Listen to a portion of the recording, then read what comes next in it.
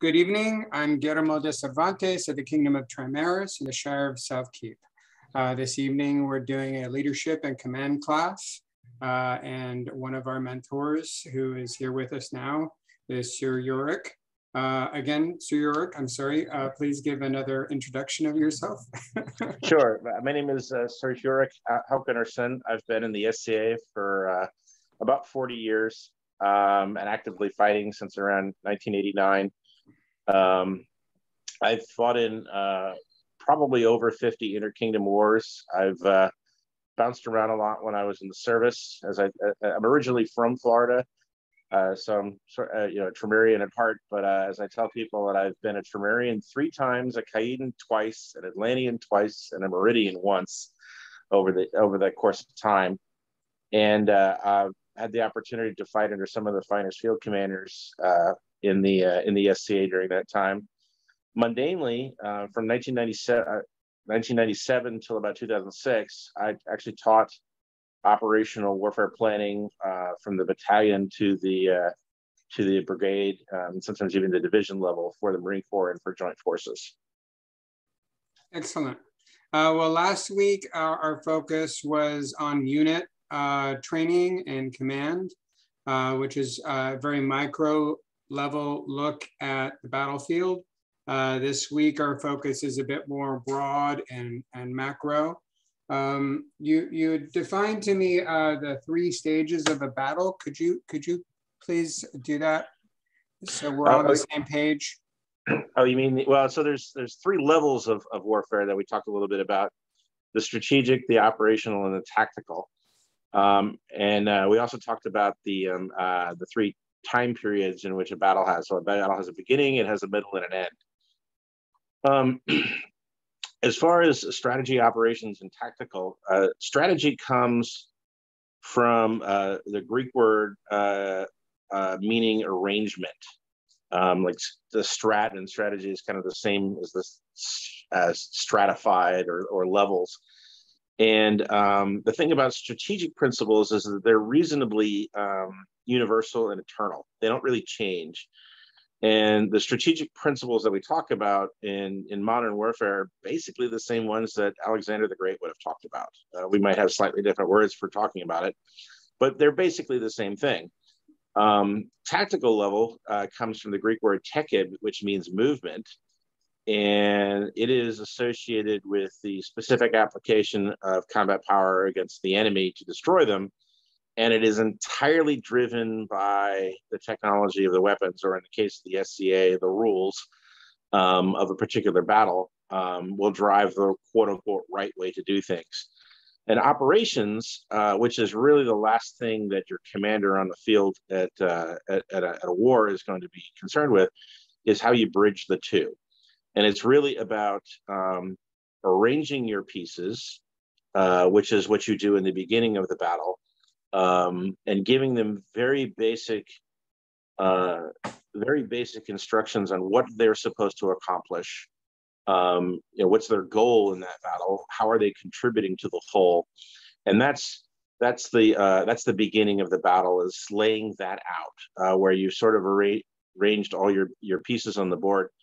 Um, so that when you get to the middle of the battle, which is what happens after the very first swing, uh, swing of a stick, at the very first enemy, that it goes your way because your ability to kind of micromanage or direct things at a low level falls apart pretty quickly as soon as people start hitting each other.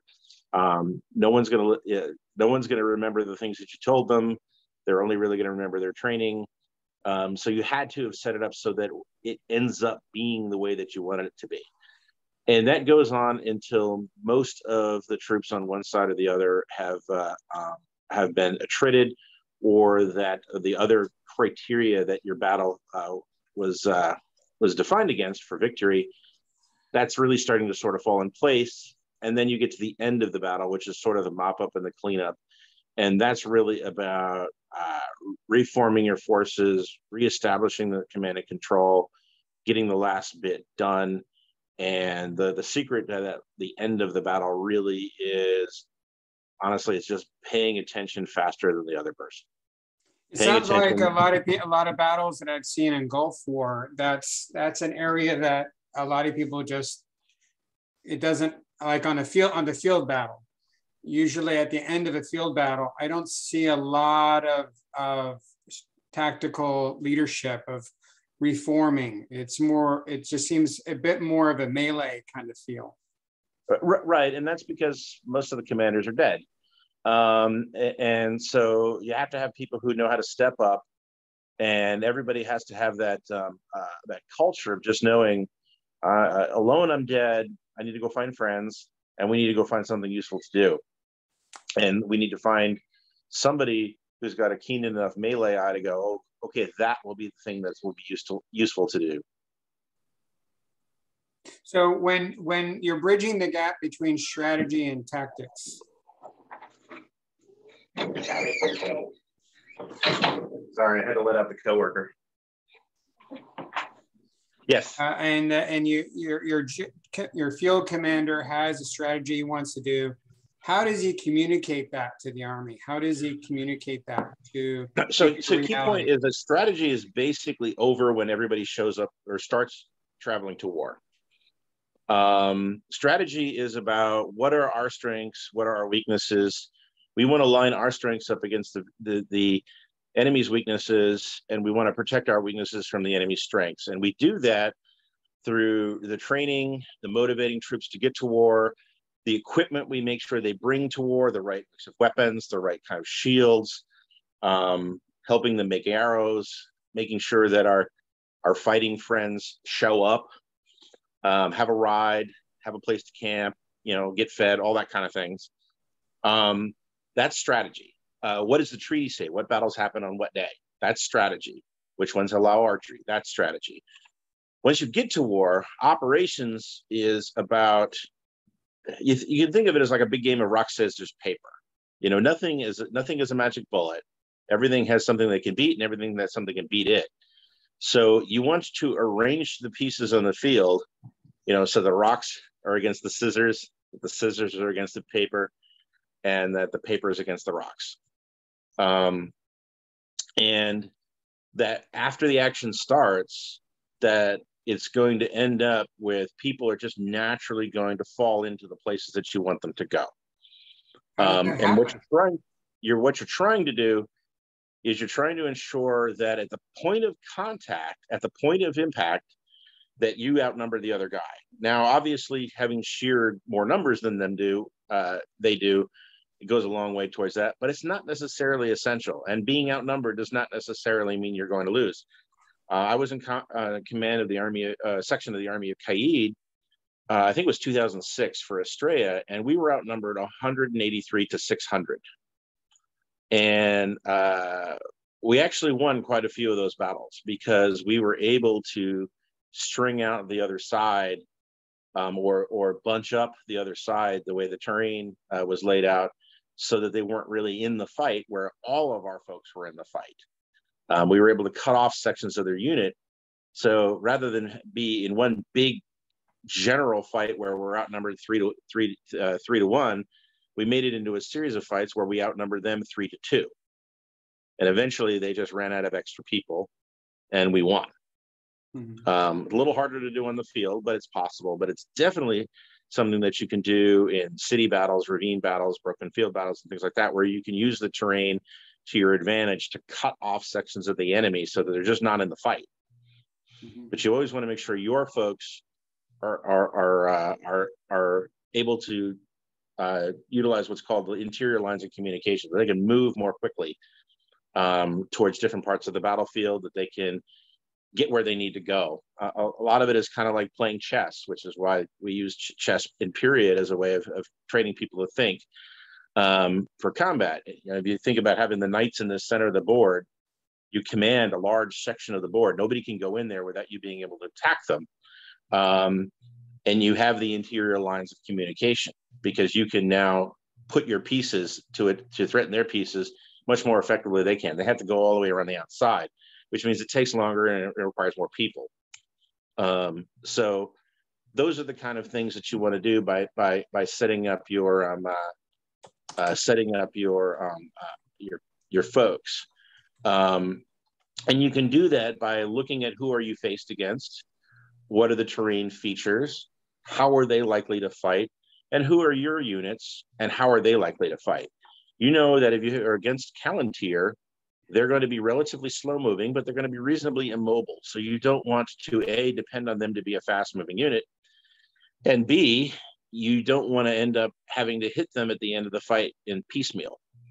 You know, so isolating them, um, dragging them into a fight so that uh, they're uh, they're not reinforcing other troops, but making sure that you have the opportunity to get all your folks together to hit them when you actually really hit them in earnest.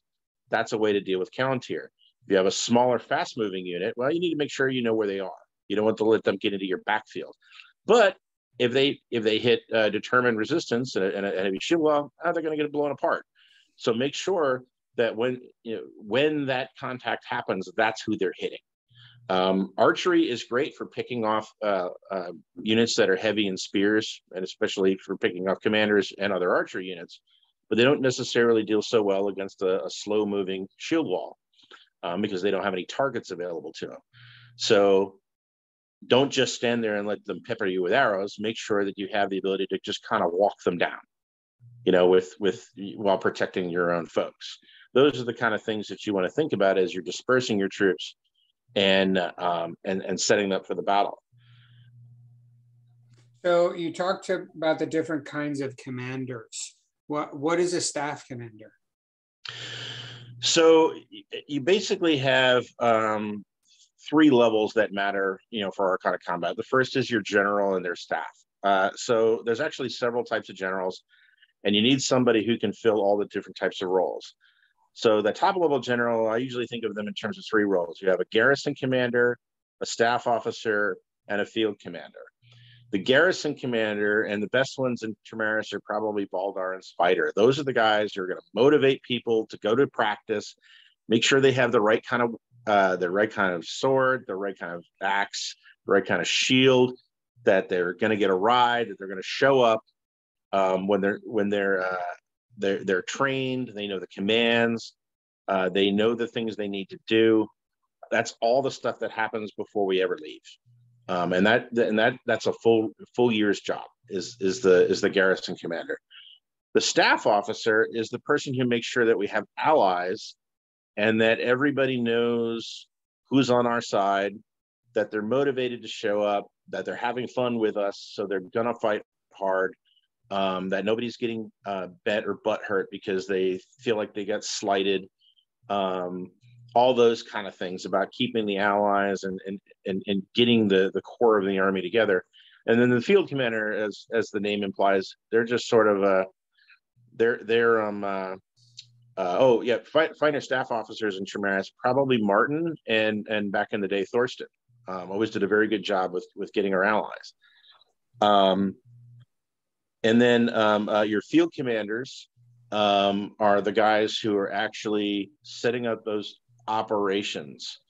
Um, and I'm going to go into this in a second. I usually think in terms of these of uh, what we call staff modern staff codes or battlefield operating systems.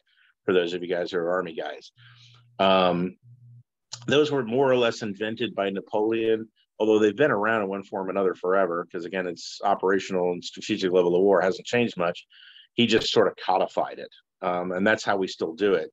So you have uh, what we call movement maneuver, and that's about getting people where they need to go and giving them the, the major unit orders, what we call gross muscle movements. You go left, you go center, you go right. Um, you go fast, you go medium, you go slow you don't generally want to at that level of the generalship level tell people you want to turn left and then go down that tree and then down the field because as soon as it starts everyone's going to forget what you told them. The bad guys are going to do something you didn't expect them to and then they're not going to know what to do. So again a lot of a lot of being that general is telling people what you want to have accomplished as opposed to telling them how to go do it. Um, and then you let the individual commanders the unit commanders which is that second level you let them on their own initiative skills and experience go oh okay well you want me to make sure that none of the bad guys get through the middle of the field. Well because of what they're doing i need to go here. And that'll be the best the best way to have, have that happen. So they're the they're the ones who do actually have to remember what's the plan and figure out how to execute the plan by doing something that's intelligent based on what their people are capable of, how many of them they have left, what the mix of weapons is, and what the bad guys are doing. Mm-hmm. And then the lowest level is your is your sergeants, and the sergeants are the ones who are about the the nitty gritty of making sure the tactics are done correctly, um, making sure the line stays dressed, making sure that the stragglers uh, meet up with somebody, making sure that people get water when they need to for resurrection fights, making sure that the commands are echoed so people know if if if we're supposed to wheel left, that everybody knows we wheel left. And if there's any stragglers, hit them in the back with your, you know, with your your weapon half. So hey, wheel left. Um, all those kind of things, and then they know how to step up and to take command of the unit in that end game if the commander has already been killed. So would that be a, a sergeant would be like a line commander? Well, I think the sergeant would be they're, they're the deputy line commanders, but they're mostly the what we used to call file closers. Um, and uh, it's kind of what the adjutant is actually supposed to be in a in a in a marching unit. Um, that's the person who makes sure the unit stays formed, that they're all doing the thing in the direction they're supposed to. So if they said wheel left, everybody's wheeling left. If if we're now engaged in a line and some guys are are are, are pulling back because they're a little scared of the guy that's in front of them that they don't pull back so much that they gap the line and make a big hole that they move excuse me that they move forward making sure that people press the contact there are some exceptions but in general it's a terrible idea to stand five feet away at spear range from the bad guys you're just going to get peppered in the face and your shieldman can't fight so you want to hit people to contact um, you generally want to keep keep on them press on them get close to them, and just move forward with deliberate intent. Have the shieldmen stay alive. They should really only be killing people who do something stupid. Their job is to stay alive and to keep the, the combat power from coming through the shield wall, whereas the spears and the axes, their job is to go kill folks.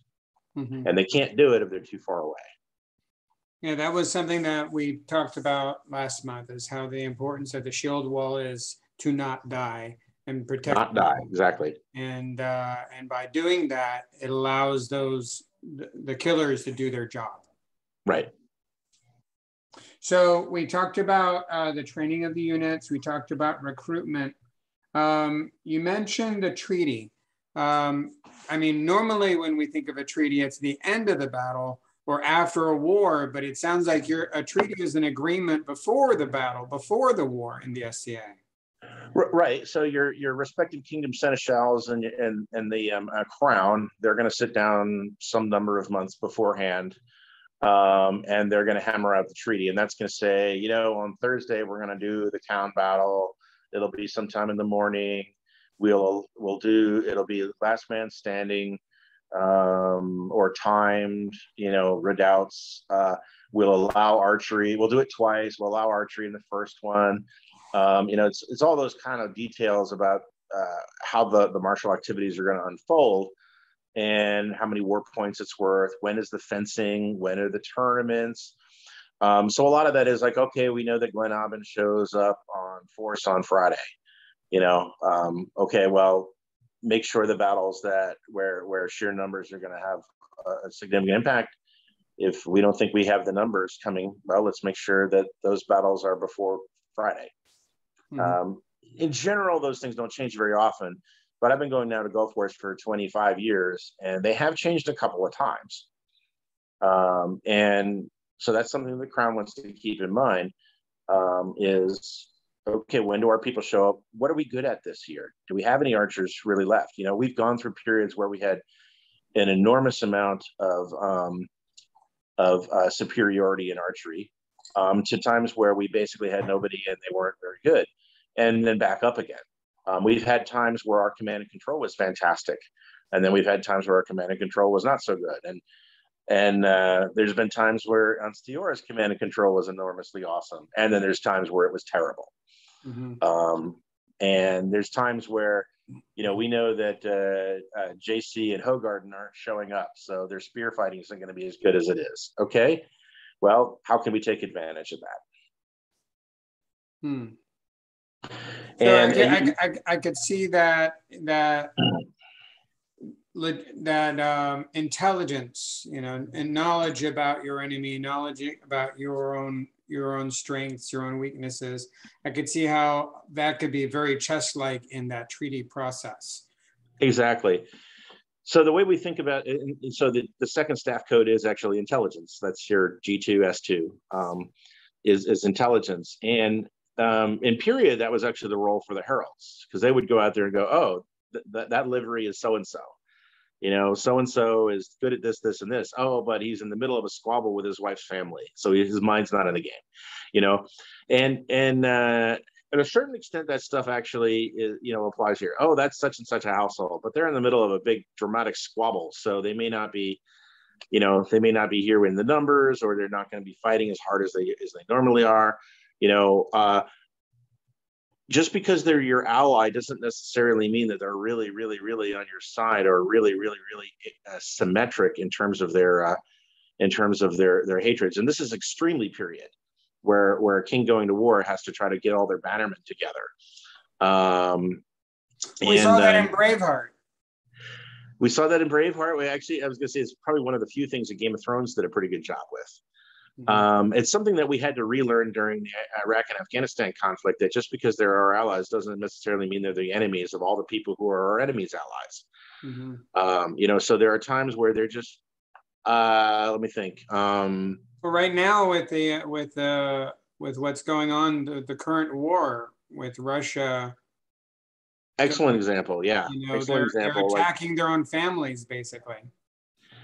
In, in, in a way, yes. Um, uh, the uh, you know, there's there's there are Ukrainians who are Russian speaking who think of themselves more as Russians. There are Belarusians that think of themselves as more as Russians, but there are also Russians who, well, quite frankly, hated the Soviet era, so they may find a higher affinity with the Ukrainians. Mm-hmm. Um, and um, so uh, the motivation of the allies matter. The, the motivation of the allies matters. You know, like you don't want to put an ally against somebody else that they, they, are not going to want to fight. Mm-hmm. You know, the East and the Middle will love fighting each other. So putting them right next to each other and telling them to work together, that might not work out. Um, but um, uh, well, I'm trying to think of an example here. It's kind of like it's it's kind of like a. But but say there there are times where like Atlantia may be our ally, but they really don't want to fight hard against Ansteorra. So you need to set them up against somebody else on Ansteorra's side that they are going to be wanting to fight. It's like seating at a wedding. Exactly. It's exactly what it is. Seating at a wedding. and it's something that you have to think about in the disposition of your troops. That's amazing. And, and, and probably even in your own kingdom because you have households. Absolutely. Absolutely and they, you know, they haven't been around in a long time, but you had the the wild cards of uh, Iron Lance at Gulf Wars or uh, the two Chucks in, uh, at Pennsic, where you're not quite sure what they're going to do. Some on some days it's a dice roll. So depending on where they are, you, you have to you have to account for that. Mm-hmm. So logistics, um, that that's so, a big part of logistics for sure. Yeah, so logistics is code four. We didn't talk about operational fires. That's code three. So that is what are the missions I'm sending my guys after? Um, you know, so there basically you have main force, which is go get them. But but that's not a strategy for the army. That's a that's a mission for a unit at a particular time in the battlefield. Sometimes it's cordon and hold, make sure that nobody passes this point. Sometimes it's air control. Uh, you know, if anybody decides to be dumb enough to drop their shield, make sure they get an arrow in the face. Um, sometimes it's it's holding land. Sometimes it's IS, uh, intelligence, surveillance, and reconnaissance. You guys go over there. Let me know what the other guys are doing.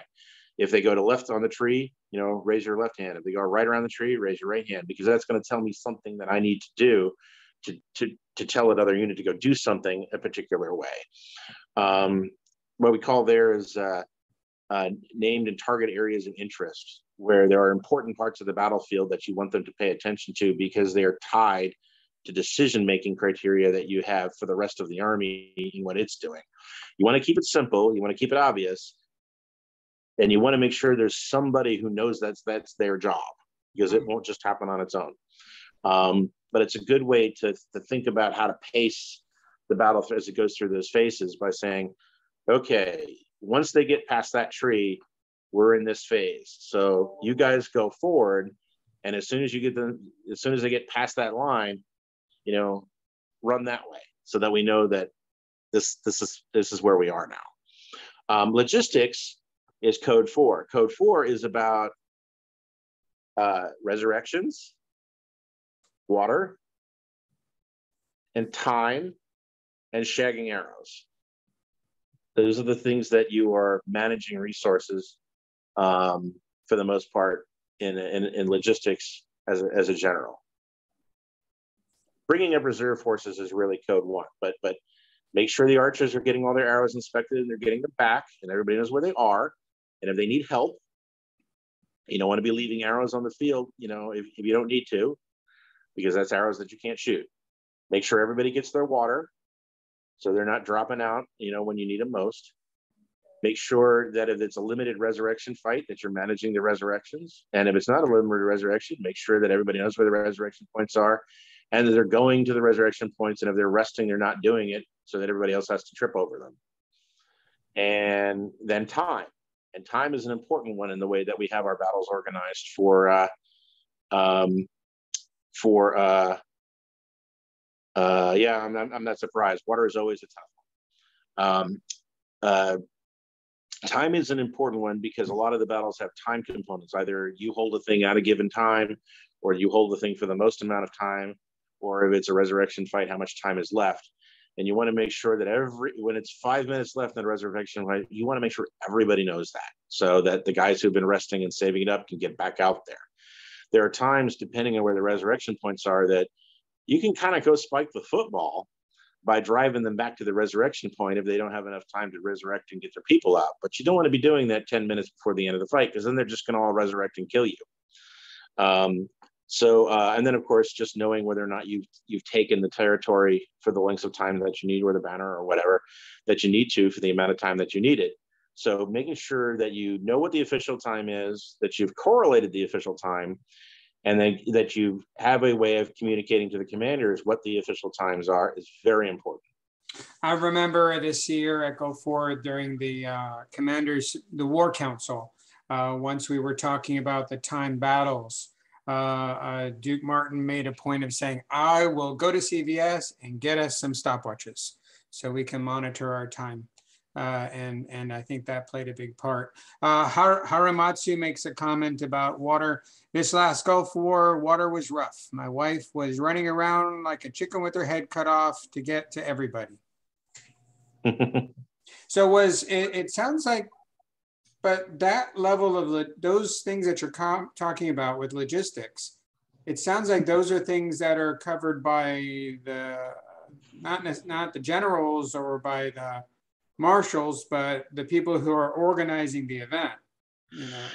Well, yes and no. I mean, getting it there is part of that, but it's actually the general's responsibility to make sure he, they know where they are and that the people know how to get to them. Mm-hmm. And if they're not covered, making sure that you have a plan B. Okay. Because uh, it, it is the general is accountable. The the the um, event stewards are usually responsible, but that doesn't necessarily mean that they'll actually get it done. The general is always ultimately accountable. Okay. So if it's not planned, if it's not organized, the general is going to make sure somebody gets it gets it done. Right. And that again would be something that should be planned for before the battle. Yes. Well, well ahead of time.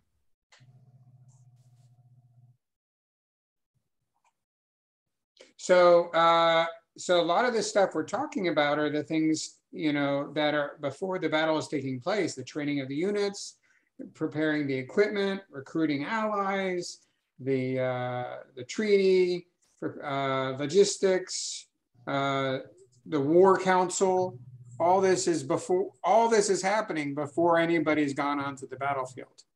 Right. Hmm. What about uh, what about the uh, breaking down the the, the battle? The you said the time the, the time frame. What's the focus at the beginning of the battle? So again, the focus at the beginning of the battle. This is good because this code five is your command and control. So uh, um, the, the focus at the beginning of the battle is is setting up your units, movement, maneuver, making sure you know who the bad guys are, no, making sure you know what the enemy centers of gravity are. You know, what's what's the thing they're most proud of? What are they hinging the success of their army on? Because that's exactly the thing you want to go hit. What does that mean, center of gravity? So center of gravity is this comes from Carl von Clausewitz. Um, and he was talking about how, you know, in his case, writing about uh, 18th century warfare, it was cities, cities and manufacturing capability. That was the, set, the center of gravity for fighting another country. Um, the way I like to point it out is that militaries don't go to war, countries do. So for every person in the field, there are 20 people somewhere else that is supporting that person in the field. They're making them bullets, they're making them bedrolls, they're making them food, um, they're they're providing the the um, they're providing fresh recruits. They're supporting the war effort. They're they're voting for the for the guy who's going to prosecute the war effort. You know, in a democracy, um, all that stuff matters. Um, and if you don't have it, you're not going to win. Um, you have to, you know, in democracy, you have to make the case to people for why you're in the in the, in the fight in the first place. Um, and uh, so in the SCA, you still have centers of gravity. They're just a little different. You know, is it that a, there's a particular unit that's sort of the pride of the kingdom? You know, okay, let, we're going to go crush them on, you know, first, and then everyone's going to get more demoralized because they're bad. You know, it's like the the uh, the immortals and the Persian. You know, all right, well, they're not living up to their name today. You know, so that's demoralizing. Um, is it their spear combat? Okay, well, how do you negate their spear combat? Well, you go, you you basically give them a screen wall and you shoot arrows at them until they're all dead. Um, is it their, is it their command and control? Well, make sure that the archers know to kill all their commanders, um, or keep them from being able to communicate. Get them in the middle of a fight where they don't have enough time to think about fight, uh, communicating or, or signaling. Um, is it um, uh, uh, is it uh, is it their shield wall? Okay, well, don't don't don't don't break like uh, waves on their shield wall. Make sure this is a fast moving fight, so they never get a chance to plant. Make sure they get, get them so that they're get strung out, so that you don't have to hit the whole unit all at once. That you hit them piecemeal. You know, so it's that's and that'll change every every fight, every kingdom, every every war is going to be different.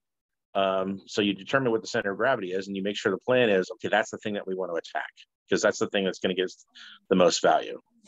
So um, when I think about Trimaris and our, my observations of our centers of gravity, uh, one of one thing I think about is our constitution. Um, we're, we, we're blessed to be in a state where we can fight almost year round. And, and battles like the ravine battle, we tend to do much better than I think other, other, other um, kingdoms because we have a, a, very good constitution because we're we're used to used to the heat. Used to the heat. We're used to the grind. You know and our archers and our archers have have always been a strength for us and that, those are both good points so we want to make sure a that there's as much archery as possible especially if we're coming in force and if we have the opportunity to have the um uh, the fights where we need the uh the the resilience um, and constitution, let make sure they, they're on the days where we have all our folks there. All righty. Um, so what about the second second phase or the second stage of So so again, that's you know, so you you, you have uh, you design in time as you have the beginning, the middle, and the end. You also have to think about the battlefield in space, and this is an important thing for the commander to walk the battlefield with preferably with the unit commanders beforehand, and kind of figure out. So you have your your left and right uh, limit lines. So we don't want the battle to get out past that net. You know, obviously, if if it's the wear edge, then you know have an official boundary. But you may want to actually set a different boundary. Don't let the action get past this point because it's too hard to get people over there to help you. Or if if they win, then they're going to be in our backfield. So we don't want to let it get past that. So you want to focus the action, and then you have your phase line A and your phase line B. And phase line A is where physically on the battlefield are you expecting to have your first troops in contact? You want to have it in a place where they can defend, where they're they're not having to worry about being exposed on a flank, where they have the high ground if possible. Um, you know, again, controlling those interior lines of communication. And then phase line B is where do you expect everybody when we go into the end game? So the end game again is all about reforming. Uh, reform is probably the, the second most important thing that people know, know how to be able to do um, in, uh, in, in, in SCA fighting. The first thing is knowing how to engage the enemy and not stand at spear range. The second thing is knowing how to reform in the end game. So how would Blitzkrieg fit into all of this? So Blitzkrieg, uh, uh, even though the it was popularized by the Nazis, was actually invented by the Prussian uh, High Command in the 1870s in the Franco-Prussian War. Um, Helmut von Goethe wrote uh, uh, his his treat, treatise on war, and what Blitzkrieg is translates as lightning war, and it's not really necessarily about physical speed it's about speed of action. And what it does is it sets forward uh, uh, four principles that you use to organize your army as it fights so that you can efficiently achieve your goals where the units don't necessarily have to be in constant communication with each other. So at, at the end of the day, there's two ways to, to, to run an army, bottom up and top down. Um, the top down is sort of the, the, the ancient Greek model. You have a lot of officers. Um, you know, you have generals, you have under generals, you have regimental commanders. It's very hierarchical. Um, and if you look at like uh, Napoleonic or or um, uh, American Civil War, those are very top-down hierarchical command and control structures. You know, orders come from the top down. Uh, bottom up is more like World War II, Vietnam, modern warfare. And that is where uh, Blitzkrieg comes in. So there's four components of Blitzkrieg. The first is Fingerspitzengefühl, which means uh, intuitive competence. You want to make sure that your people are trained to a high degree to know what to do. Um, I, I, have like uh, uh, three to five bullets that I that I tell everybody. It's like, look, you know, this is testable. At the end of the day, you're only going to remember what you're trained. You're not going to remember what somebody told you five minutes ago you got to remember these things. You know, you got to get in the enemy's face. Speed is life. Um, it's not the bullet with your name on it you got to worry about. It's the one labeled to whom it may concern. You know, make sure that you're paying attention because it's the stuff you're not paying attention to that's going to kill you. Any three of us can kill any one of them. Um, regroup. You know, those are the those are the those are the kind of things that you want to have beaten into people's heads. Um, the um, uh, let's see, what was I? Uh, uh, where was I going with this now? Um, oh yeah, okay. So intuitive competence, making sure that people know how to lock shields, how they know to move as a unit, all those kind of things. The second thing is is uh, Schwerpunkt, uh, which is um, commander's intent. Everybody needs to know what are the victory conditions, and what do you expect me to um, our portion of that what is our our our unit or our local area on the battlefield what is our contribution to that uh, to that commander's intent the next thing is einheit which is um, unity of command. That is who's in charge who's in charge when he gets killed and what are they responsible for? And and how how does that fit in with the other people who are, are responsible for different things? How do, how do we work? Chain of command, right? And the last thing is Auftragstaktik, or what uh, the modern army calls mission command. In mission command is how you think about the th- synchronization, like the thing that you're doing, how is that contributing towards the next step in the battle unfolding in our side's victory? You know, if my job is to own the middle of the battlefield, how does that contribute? Well, it keeps the enemy from being able to move through it so that as the other units are trying to outflank them that they can't reinforce i don't need to i don't need to kill everybody i just need to own it they can't pass through it without being threatened by me as an example so would would heralds be helpful in passing on the the commands of the general to the army they are and you want to keep those commands very unambiguous and very simple um, you know I've seen colored flags used, and really, you know, you get four colors that are unambiguous, right? Red, yellow, green, and blue, maybe. Um, and um, if you have more possible selections than four, it's too complicated. Generally, you want to keep. Generally, you want to keep with the rule of threes. Don't make anybody use, have How would you use the flags? How would that work? I'm sorry. How would you use the flags? Uh, you could say, um, uh, "You guys don't move forward until you see the red flag." You know, the red flag indicates that the conditions that I want in the battlefield for you guys to be moving forward are true. I, that's that's that is le- really a level of complexity that you can't do unless you've trained it. And even like I said, even if you try to do something like that, you have to have trained it all year round and literally maybe four possibilities. Generally, you don't want to give anybody more than three things to remember or think about.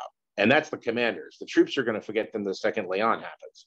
Mm-hmm. You want the commanders to not have to think about more than three things. Generally, you want each commander to think about one thing. Okay. So that's Blitzkrieg. Um, can you talk, or give us an example of uh, uh, a few uh, battlefield uh, strategies that might be applied um, just so that we can take away uh, some idea of how, how we might work on a battlefield, what kind of strategies are effective uh, from history in the SCA? Sure. So the thing that most people want to try to accomplish is either a single or a double envelopment.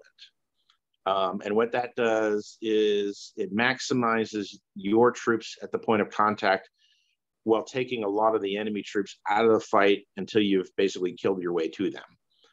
Um, the single envelopment was popularized by Alexander the Great, uh, particularly the Battle of Gaugamela. Um, you can look that one up online. He had what, the, what they call the, the hammer and the anvil. So the anvil was the left of, of the Macedonian army and it was um, heavily, relatively heavily armored, uh, phalanx. Um, they they move they move intractably in a straight line. They don't maneuver very well. They're not very fast, but if you push people onto them, they're going to get annihilated. The the the um, the hammer uh, was the cavalry and the peltasts, the lighter troops that were off to the right. And what they did was they they drew out the uh, the, the, the Persian lines and basically folded them back over onto the onto the you know onto the anvil, hence the hammer and anvil. And, and what they did was they had this long crescent going all the way around where every one of their people were engaged. Most of the people in the backfield for the um, uh, for the uh, uh, uh, for the for the Persians were, were basically not involved in the fight until they until they killed their way to them. So so they had a series of fights where they were always outnumbering the enemy. Um, The double envelopment is exemplarized by the Battle of Cannae, which was which was Rome, um, and that's you'll, you'll hear that as the horns of the bull or the double envelopment. Uh, fire sack um, was how uh, General Schwarzkopf referred to it in uh, in the first Gulf War, because that was actually our strategy in Iraq. Um, was was that uh, was that double envelopment? So the the way that you do that is you put your your heaviest hardest fighting troops on the flanks and your relatively weaker guys in the center and uh, we used to do at Caid what we called the tethered goat where we had this one light unit of mostly Florentine and two sword two two-handed sword fighters which are not tremendously useful in a field battle in of themselves um, and we would put them in the center and the enemy would go oh look fresh meat and then we go charge after them and when they did that, you would basically form a yeah form a kill pocket around them, and it just naturally occurred that you were going to be able to double envelop. So if you see in this picture here, everybody that's in the circle can hit somebody in the X's, but the guys who are in the middle of the X's there can really only reach one or two of the circles. So they're effectively out of the fight, at least until you get kill your way to them.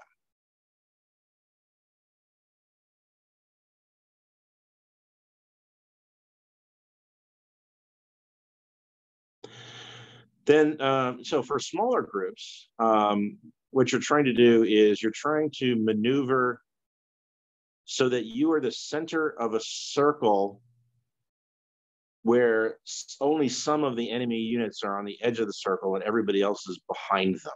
You're always trying to maneuver some portion of the enemy between you and the rest of the enemy. So you're fading out to the left or right um, so that you only have to fight a small number of guys at any given time.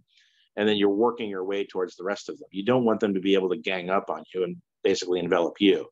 You can do that same kind of thing, um, even up to numbers maybe as large as 50.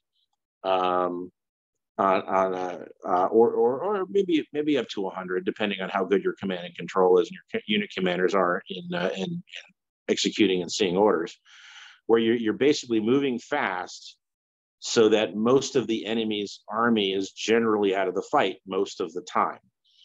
Um, uh, there was a, a Estrella, not Estrella, um, Betrayal where out in Caid, uh, where we were absolutely and, amazingly effective at that. Uh, I actually saw the battlefield circle around three times, but we were outnumbered by the Atenveldters and just kept running the battlefield. Um, and and different groups would. I think at one point I was pulling off like eight eight or ten guys from the other side, ran them pretty much all the way. I mean, of course they pummeled me like a baby shield by the time they caught me, but it took ten guys out of the fight for a pretty long time. By the time they got back to their unit, it was all completely the other side of the battlefield. And at that point, it was all over but the crying. Um, so, so that's something that you can do. I've, there was another um, uh, West Caid War where I was in command of, of, the Iron Brigade, and we did a variation on Kursk, which was a big tank battle in Russia in World War II, where we had a very thin line in the front and then a thicker line behind them and the main force in the back. And, the, and, and basically got down to the, uh, started forward where the enemy wanted to rush the front line because they thought they were going to outnumber them and they just faded back without really engaging them until they hit the second line and then and then the guys hit it but you were able to kind of cut off the front of their unit and but they kept coming in so then we faded back to the main line so that by the time they got to us they were strung out all the way along the battlefield and we were at the point of impact we outnumbered them about three to one so it was a lure, basically. You were lured. Basically, them. we lured them into uh, and lured them into chasing us down.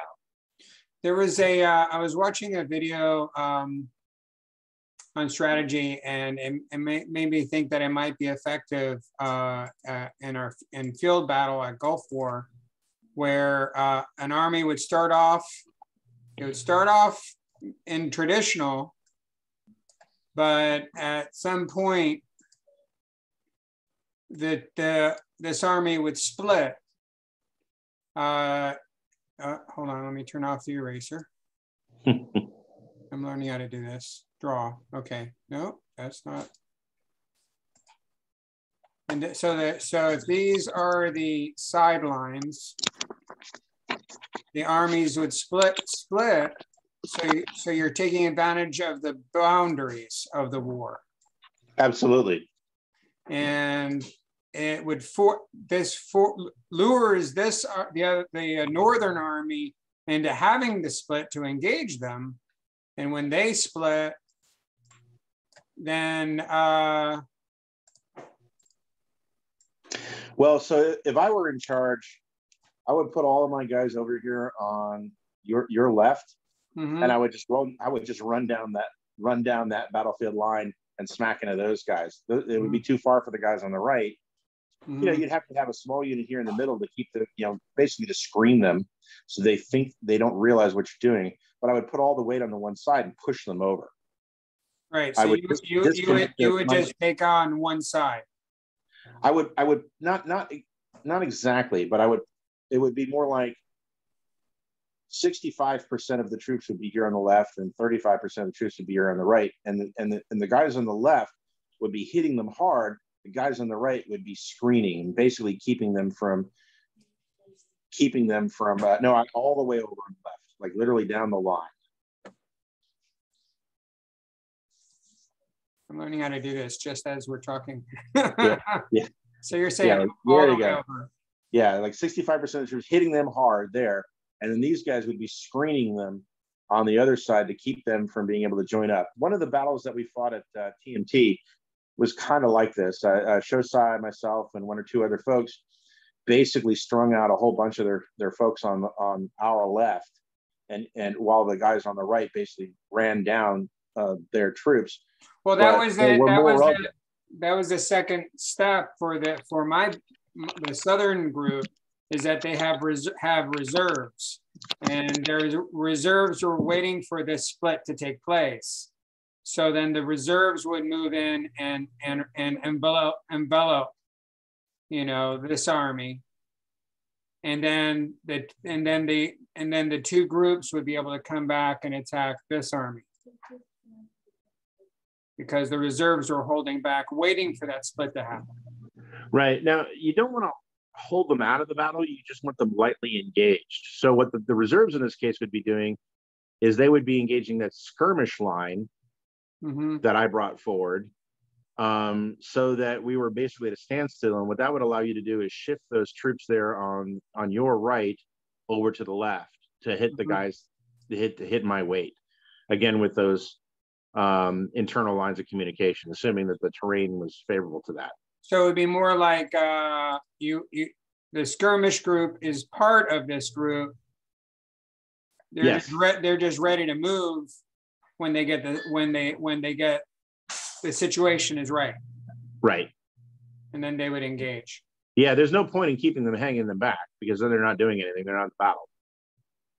I'm looking for a move function. I don't see it. All right. So uh, I saw Soshai is here. Uh, what do you think of this strategy? Soshai?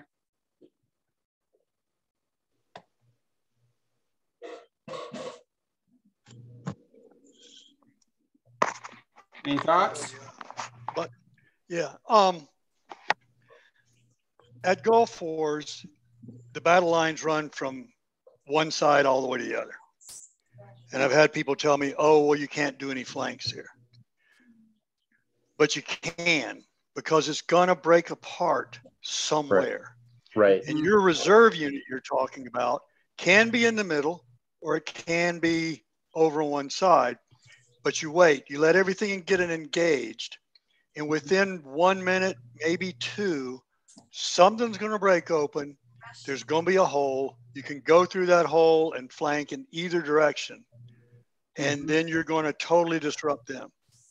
So Um, there's a so break you're here. on to something. there's a break here. You can take advantage of it. Right. You got to wait till it's about 20 or 30 feet wide, and then you go through it with either a small unit or two or three small units that are stacked. So you got the units forming a column. Not that everybody's not single file people, but a group of, of seven and another group of seven and another group of seven behind them. And you go through the hole and you all turn the same way and you run down the back of the line. You don't have to heavily engage them. If you come up and you start tapping glaives and spears, they're going to turn around to face you, and then no one is supporting their shield wall. And the unit in front of them will kill them off. In the meantime, your unit that's flanking, your unit in the rear, will be taking almost no casualties because you aren't really fighting that hard. You aren't really directly killing people. You're just causing the people in front of the people you're engaging to have no support, and then they get killed. And you can Yeah, roll the, uh, all the way down the line. the, the the second battle, the second field battle at Gulf Wars this last year, um, we did something similar to that. Basically, we told, uh, uh, I think I think it was Meridies. We told them like, you guys hang out over there, don't move. Yeah, we're going to move forward. Stay back one unit, just so that they they don't think they can flank us on the left. But as soon as those guys get sucked away, run into their backfield and cause as much hate and discontent as you can. And it was actually a fairly resounding victory for us, which was um, you know that, that we didn't win that one overall and we got beat pretty hard on the other ones but that one that second one was actually a pretty resounding victory If, if you can, it, it's always amazed me in SCA combat. If you can get into the backfield of the enemy, they panic as if the weapons were real and as if you could kill them from behind. They just, they just kind of fall apart. Hiramatsu wants to uh, make a comment. Feel free. sure Hey guys, um, with that uh field battle we were talking about at um this past Gulf Wars where we didn't do so hot with a couple of those fights. Um, something that I wanted to mention. Can you guys hear me? Yes. Yep. Um, something I wanted to mention that um Spider and I were talking about on the field side there. Um, one of the things that I'm glad we're doing more melee practices this year that really got us killed on, especially that second one that you're talking about, sir, um, was our cardio. Our guys were not moving fast to get where we needed to go. um, as an army. So like when I was looking at Gee's um, strategy that he was coming up with with the split, we would get murdered if we had tried that this past time with how long it took us to get where we needed to go. And it wasn't any one group's fault. Just as an overall army, we move slower than average. Which granted, I think that I think you know that's a universal truth because of COVID. Yeah. This Yeah, is exactly. our, you know our first Right. war.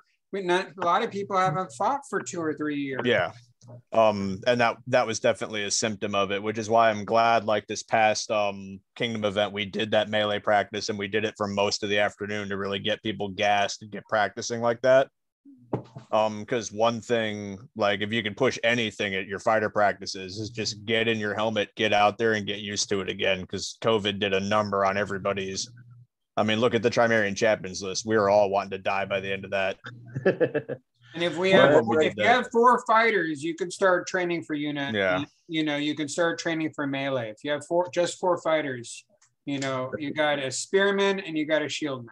Yeah. That, that, that's an excellent point. And, and it sort of as a corollary to that as the commander, don't be trying to expect things out of your guys that they're just not trained and, you know, trained and, and, and conditioned to do.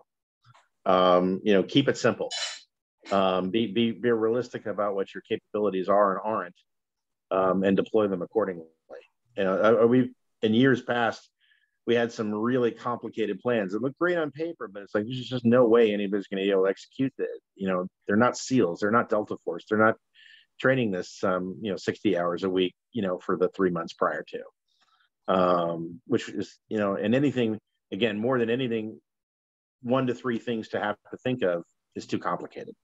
yeah So uh time is Also- set. So Go ahead. Uh, I was going to say, um, Jerry, before you got into Black Sword, um, when we first started doing melees, we were very weak. Uh, we had a lot of new fighters, and if we heavily engaged with anybody, they were going to beat us. But if we picked a hole and we trained to stay together and trained to move, um, as Hiramatsu said, we could run, we couldn't necessarily fight, but we could run down the back of a line, and then whoever was in front of them would kill them off. We didn't have we didn't have to heavily engage where we took big casualties. Right. Um, we would just harass them and and so forth. So, as Jerry said about capabilities, if you if you have troops that are great at straight ahead fighting, they don't move fast, fine. Put them in a heavy hitting unit with bridge shields even on the field and heavily engage people and push them around. But if you've got guys who are not terribly experienced, teach them to run and teach them to go to the rear and just harass people. Uh, like Jerry said in that other battle, where you get people to chase you, and and then they're out of the battle. This last uh this last Gulf War, we had the uh battle to end all battles on Saturday. And that was a timed battle.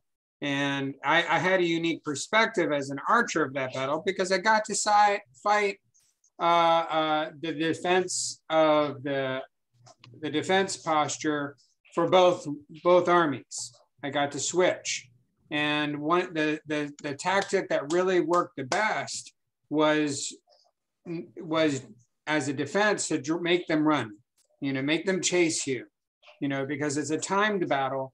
Uh, you know, you you you don't want to just go head to head because you're just going to die and have to go res at the next level, you know. But Right. if you know it's a timed battle, make them work for it, and and that doubled the amount of time when when you use that strategy. There was one um, uh, one Gulf Wars uh, when I first started fighting with Black Sword. And we were, I think, we started at the top of the hill, and I remember as all of us ended up down past the tree there on the you know on the on the castle side um, by the end of it, and we were all killed, but we won the our side won the battle fairly resoundingly because the enemy they must have outnumbered us three to four to one because they chased they sent so many people after us. Um, and and when they did that, they were out of the fight for so long. The rest of their their their guys got munched, so that by the time they finally killed the last of us, they were outnumbered uh, uh, by a ton, and they just got munched. And so even though we all died, the the Trimarian army was probably still 40 per 40 percent intact uh, at the end of the battle. It was it was fairly lopsided. So it's again that lure that lure tactic, you know, keeping them occupied, keeping them out of the fight. It, it, it gives the other part of the uh, force the, the advantage, or gives the other part of the force uh, an effective uh, strategy. Um, so we're, we're just about a time, out of time. Uh, any final thoughts that you want to share with us uh, uh, before we wrap up? Um, yeah, yeah well, one of the questions you had on your original list was was more reading. Um, apparently, the the Deadliest Blogger site isn't around. You'll see a lot of people citing the original articles, but I guess he doesn't have the web page up anymore. Um, there, uh, he had put up the the um, uh, two of the manuals. I wrote the Strategic Contramarium, which was all this operational strategic level of war stuff. And there's also a, a field manual, it was Shosai's original manual that uh, um, that Ari had added some additional commentary to. Both of those are excellent resources. You'll find a lot of field, uh, the tactical field manuals uh, out there. Most of them are basically the same. There's some variations in orders and whatnot. So the biggest thing there is pick one and and and, and make sure that it's sort of institutionalized. Um, but um, uh, the biggest thing about operational level war again is it's how to think about. It's not what to do; it's how to think about it, so that when you set the pieces up, that when they get to fighting, that you will have more options than the other guy. And if you have more, it's like playing risk. If you have more dice than the other guy, yeah, you'll get some bad dice rolls, but eventually you're going to win. All right. Um, uh, I actually have, sorry, is there if I? We're open. If you have a question cool. or a comment, feel free. Um, one thing I just noticed that this is being recorded. I was wondering if somebody could send it to me since I just got in here like 10 minutes ago. Feel free to, uh, I'm Guillermo de Cervantes. I will post the recording once I uh, set it up. Uh, it will be posted on YouTube. Um, so everybody can have access. And if you wish to message me, um, once I have it finished, I'll also be posting it in the uh, discussion of this event. Awesome. Uh, so everybody, and so it'll it'll be put out there. But if anybody doesn't see it, feel free to just ask me. Uh, I'll be happy to send you the link. Awesome, thank you. And um, for the inverted wedge, the one that you were saying that you had uh, Florentine in the middle, and if people would advance forward, and you would essentially just flank them like that. Is there a counter for that at all? Oh, let me think about that. Uh, well, first off, don't get sucked into going after a tethered goat. Um, don't I, go. Yeah, just don't go. Actually, um, uh, that's a good one where trying a single envelopment on their double envelopment works because you're you, you basically pin one side, and then you use and then you use your your mobile side to, uh, to, to carve them back in. Um, so if you're pushing all of them back in, then they're the ones who aren't you know able to uh, to get into the fight. Gotcha. Komatsu says, "Don't take the bait and mow them nope. down with spears." Don't take the bait. Yeah, just pin one side and then mow them down with spears. Exactly. Awesome. If if you can see that's what they're going to do or trying to do, you can move forward and concentrate your attacks at the two sidelines. Mm. And and just like Jared said before, putting 65% of your troops onto 30% of theirs and make them advance their middle, which isn't going to be very strong anyway. But you're going to have to keep a central reserve to stop them from getting behind you. But you can just attack the parts they give you.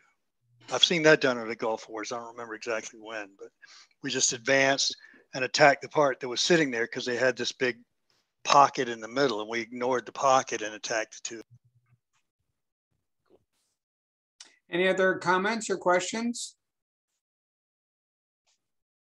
There's something cool. Um, what Sir Shosai was talking about about having that reserve in there. Um, I'll try to link it in the discussion on the Facebook page. There's a video of the um of Chinese riot police practicing that exact thing, um, where they have a horde of people just pick random spots of the police's line and then hit them. And you see how the Chinese take a reserve unit and then basically reinforce those spots as they go. And it's exactly what he's talking about. It's a great aerial view of it um, that shows you how they react to that. Well, that's uh, that's when I guess your line commanders they have to be watching uh, the opposite sides of the field to see what they're doing and and and and make those de- de- command decisions in the moment. You know, the and hopefully your your unit is trained well enough so when they say drop shields, prepare prepare for charge. You know, I've had I've had those moments in war where they've charged at us out of the gate, and we were ready, and they were on the floor you know, they just bounced off of us. And that was that was a glorious moment for me. Prepare to receive a charge is probably the third most important thing to train FPA troops to do. Don't don't don't don't get busted up. Don't get hurt. Just just drop straight down. Let them trip over you. Mm-hmm. Yeah. Or bounce off of you. Or bounce off of you. Depends how big you are. That's a Roman tactic, right? The shield drop. Well, you don't necessarily have to drop all the way to the ground. Well, it depends on what kind of shield you have. I, I used to, uh, our shield wall used to fight with 36 inch rounds. So you would go low. And yeah, if they were bigger than you, they would knock you down, but you'd knock straight down, not backwards, not forwards, but you'd knock down in a line. And when that happened, the axes would just come down and punish them for their life choices. Gulf Wars 16, we did that with the uh, the V shields. They dropped down and then put them at a 45 degree angle. And there's just nothing you could do right with that one um something else Guy that I thought of that I wanted to share. Um my before I switched to Subadai, my former knight Sertaka um used to talk to me um a lot about this. When we study real life battles like Gaugamela is an amazing example. Um, but one of the things that never factors into the SCA is the fear factor that real battles have. Because at the end of the day, we're all friends. No one's actually going to die at the end of it. But what does factor into the SCA big time is ego. Yes. And that, that can take the place of fear because if you have, like, let's say a big group of archers, one thing nobody wants to do is get killed by an archer. You walked all the way out there, you took an arrow to the face, and now you don't get to fight. So if you start throwing a ton of bolts into a flank where there's a bunch of hot stick spearmen, they're gonna they're gonna slow down like crazy because nobody wants to get hit.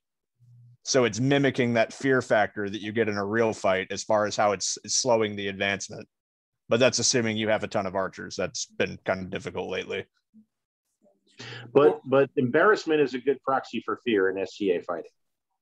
And but it's it's what uh, Sir York was talking about. It's one of those things that a general can an option of control on the field. You know, how do you use the archers? Are you going to let the archers just do their thing, or are you going to use the archers in a specific manner, like you're suggesting? Yeah, I can remember Gulf Wars 17. We got our crap wrecked by the Ansteorrans in one of the fights because they put all their archers in one spot. They clumped them and just started laying waste to the one side with it. Um, and it worked really well for them. I mean, we reacted. It only worked once, but that one time it worked. It worked big time. And sometimes that's all you need if we're talking about a war point. Right. All right, folks. Any other last uh, final thoughts or questions before we uh, go? Okay, um, we got uh, Albrecht. Uh, I hope I'm pronouncing that right. Uh, res battles, get those stragglers. I was told by Takamatsu if I resed and I saw someone walk back and he looks lost, get get them watered and get the next three as well. Uh, form a team of five and go where the commanders want you, essentially in the ravine. Essential, essentially in the ravine. Yes. Yeah, that's that. That's that logistics, and that's the find a friend, regroup at the end end game. That, that's particularly important for the last 15 minutes of the of the 10 to 15 minutes of the uh, of the ravine you know, save your energy, get water, get up there. If you need to rest, rest 10 feet behind the line so that if it starts to come back, you can get right on the line. I'd like to underline something that Hiramatsu said and Jerry. Um, practice. At our small practice wing practice, um, two two on one, three on one, or three you know two on two, whatever. But in Black Sword, we always had at least two household war practices per year. And the first half of it, we were in just with shields and swords, not in armor. and we'd walk through our drills. We'd walk through our drills. And we'd walk through our drills. Then when we armored up and fought, um, then we were practicing it for real. In fact, a lot of times we'd we'd invite another household for the afternoon. In the morning, we'd do our walkthroughs, and then when the other side showed up, we'd we'd do the melees, us against them. And that's when you understand your commands is when you can do them in combat. Um, so, and that you have to practice to get there. Practice, practice, practice. Now's the time for it. And uh, I would recommend that if you if you can connect with your neighboring regions, um, down here in the south, we have about three or four shires uh, that are all clumped together, and we get we have uh, shire combined shire practice, and so we can get our numbers up and we can get that melee experience, and uh, and that's been beneficial. So if you have a neighboring shire or a neighboring barony uh, and you want to do a larger practice, I encourage you to invite them. Ask them to come and join you in your practice and, and put the word out that you want to do melee practice and melee training. Knights are plentiful. The chivalry are always available to come. Don't be intimidated. Ask them to come and give you guidance uh, in how to manage melee. Uh, it's a lot of fun, and uh, and it's even more fun when we know what we're doing. Winning is always fun. Well, folks, thank you so much for joining us this evening. It's been a it's been a, an enlightening experience. I know we went over by 20 minutes, but I, I felt like it had to happen. And uh, thank you so much, uh, Sir Yorick and uh, Sir Soshai and everybody who's joined us this evening. Uh, we will be doing another one next month. Um, I'll announce who the speaker is when I do the event post for that training as well. Thank you again, everybody that's joined us. It's been a, a fun evening. Thank you guys. Uh, uh, quick question. What is it? What is Globe? So Globe is between um, uh, like Phoenix and Thatcher area. So I um, I'm just getting into this and I wanted to get started, but I haven't been able to find anyone to spar with or that would be interested in training. Where is Globe?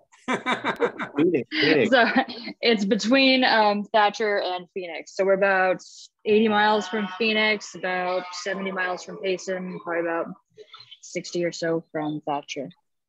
Well, both, Uh, well- um, both Phoenix and uh, I can't remember the name of the group there, but uh, Tir Ysgithr is the one in Tucson. They both have very large groups, or at least used to. I had a bunch of friends from down there. I mean, I went to a practice in Tucson. I think there was 85 people there. Last month, the uh, the furthest traveled uh, to participate what came from somebody who was in Australia. Uh, so uh, so we wel- we welcome the known world to this training. The better we all are, the more exciting the fights will be. It looks like um Cylon Striker says he's pretty close to you, or at least decently. So that's cool, Mariah. Have a great evening, everybody. I'm going to stop recording now.